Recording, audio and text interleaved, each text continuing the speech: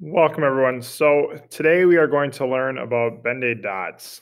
And these are used in some pop art, mainly by Roy Lichtenstein. Um, and he used them to um, allow him a another uh, almost double his colors. So we notice he only uses black, white, blue, yellow, and red. So the primary colors plus black and white. But by using the dots, he allows himself to have another three colors. So we can see the difference here between red and the red that are in the fingers.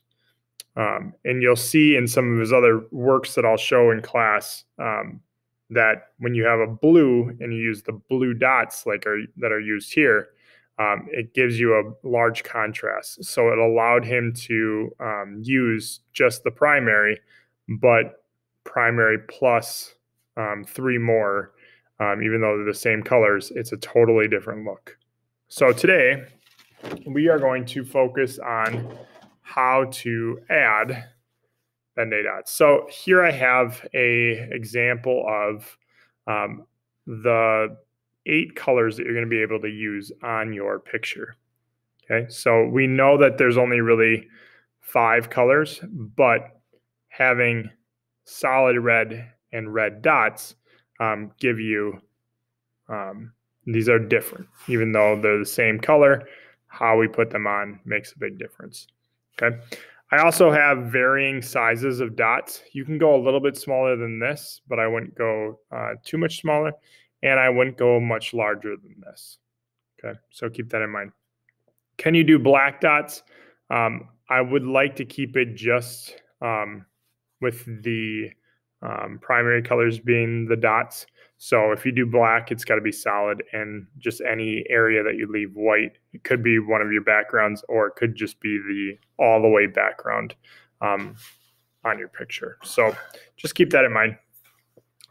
I like to use a ruler when I uh, make the dots, and I'll explain why um, in a little bit here. But um, when we look at these, the spacing in between your dots should be a little less than another dot in between them.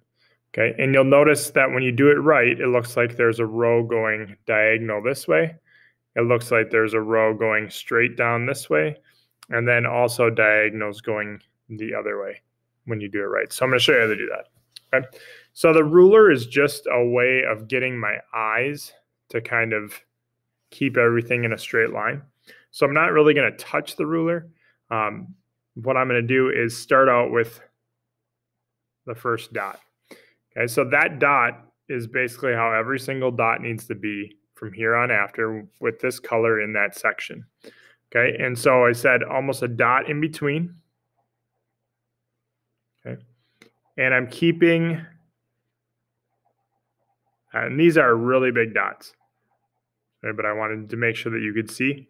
So I am making that circle, and then as I'm um, going around in a circle, I'm filling that in. And constantly looking at my ruler and at the other dots to make sure that I am doing it um, in a straight line. All right, now we move the ruler over a little bit. And the key here about uh, Ben-Day dots is that where I have two dots in the this row, my dot in the next row is going to go in between these two dots. Okay, so now I keep about the same amount of space and I'm going to go in between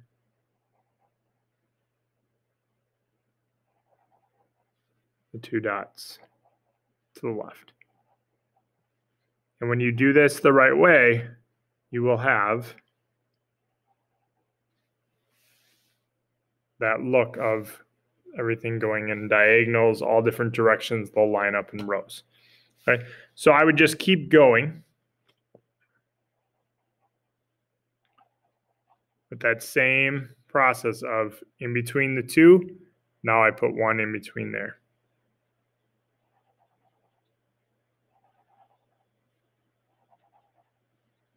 So this is how you would do Ben-Day dots. If you're using a ruler, you never want to I wouldn't want to do this row like this because now I can't see those dots. So I would turn my whole paper if I want to go the other direction.